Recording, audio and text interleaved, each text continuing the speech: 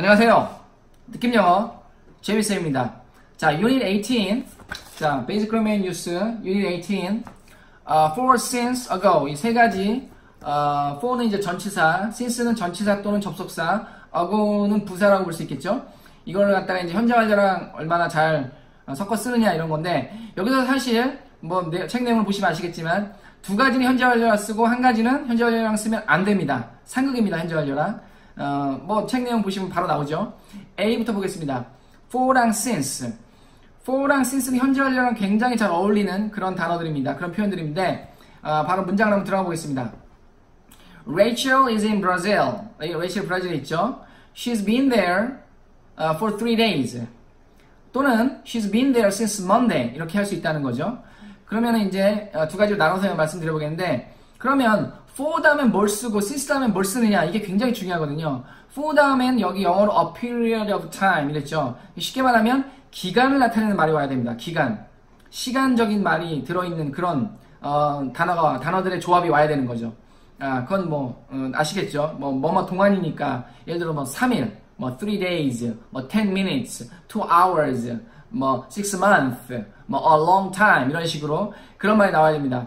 이거는 자꾸 하시다 보면 for 다음에 그런 말이 나올 수밖에 없어요. 제가 느낌 영어라고 이런 붙인 것도 for를 갖다가 for가 뭐뭐 동안이니까 뒤에는 이런 말이 와야 돼. 이거 갖다가 머리로 이성적으로만 이해를 하시고 기억을 하시면 실제 회화에서는 그렇게 되지 않습니다. for의 느낌을 가지셔야 돼요. for a long time, for three hours, for two days, for six months, for ten years. 이게 그냥 for랑 그런 어구의 조합이 자연스럽게 그냥 짜 맞춰져야 됩니다. 그냥 느낌인 거예요. 말 그대로. 반면에 since는 어, 떤 어, 시작점을 나타내는 말, 입니다 시, 어, 말이 와야 됩니다. 시 간의 시작점. 여기 이제 예를 보면은 since Monday, 뭐 since 어, since 9 o'clock, 뭐 since July the 4th, 그다음에 since my birthday, 뭐 since January, since I was 10 years old, since we arrived 이런 식으로 시작 시작을 나타내는 말이 와야 됩니다. 그게 제가 아, 아까 말씀드렸듯이 since는 전치사도 되기 때문에 뒤에 그냥 명사나 명사구가 와도 돼요.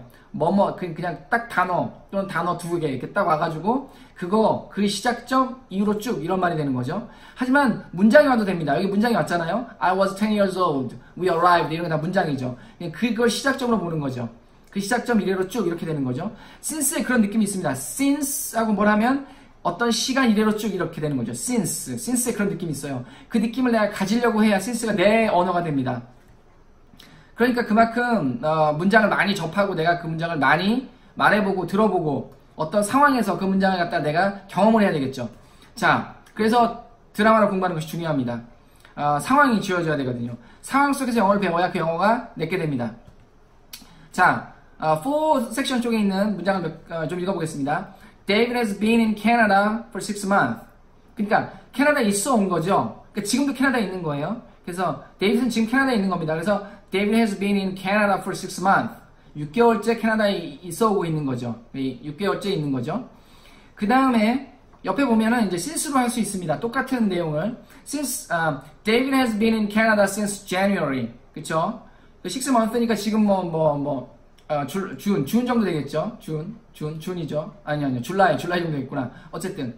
그래서, since, 아, for 6 month니까, 어, January부터 했으면 지금 July 정도 되겠죠. June, July. 그래서 David has been in Canada since uh, since January. 그러면 January부터 쭉 이렇게 되는 거죠. 그 다음 이쪽으로 다시 넘어와서 We've been waiting. 이거는 이제 우리가 이전 과에서 봤죠. 그죠? 현재 완료 진행. We've been waiting. 기다려오고 있었던 거죠. 지금도 기다리고 있는 거. We are waiting. 지금도 기다리고 있는데 기다려오고 있는 거. We've been waiting. We've been waiting for two hours. 두 시간 동안 기다려오고 있는 거죠. 그걸 갖다가 이제 since를 쓰면 We've been waiting since 9 o'clock 이렇게 되는 거죠. 그렇죠? We've been waiting since 9 o'clock. 그러면 2 hours니까 지금 11 o'clock이겠네요. 그죠? 그 다음 다시 쪽으로 넘어와서 I've lived in Chicago. I've lived in Chicago for a long time. For a long time 많이 쓸 수 있, 어, 얼마든지 쓸 수 있습니다. 어, 오랜 시간 동안 어, 살아오고 있는 거죠. 지금도 live 하고 있는데 어, 과거부터 지금까지 live로 다 채워야 되기 때문에 I've lived. live 된 상태를 지금도 갖고 있는 거죠. I've lived. Live하기 시작해서 어, 지금도 live한 상태를 가지고 있는 거. I've lived. I've lived in Chicago for a long time. 이걸 다른 말로 바꾸면 I've lived in Chicago since I was 10 years old.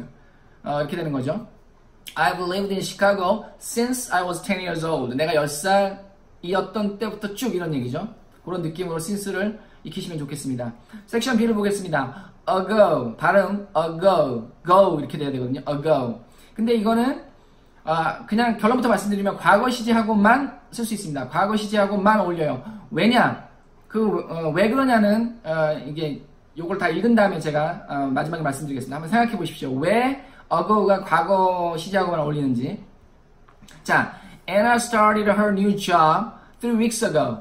Anna started her new job three weeks ago. 3주 전. 딱 찍었죠. 과거 어느 시점 딱 찍었죠. 그 다음에, when did Tom leave? When did Tom leave? 탐 언제 갔어? 언제 갔어? 10 minutes ago. 아, 10분 전에. 이런 얘기고요. I had dinner an hour ago.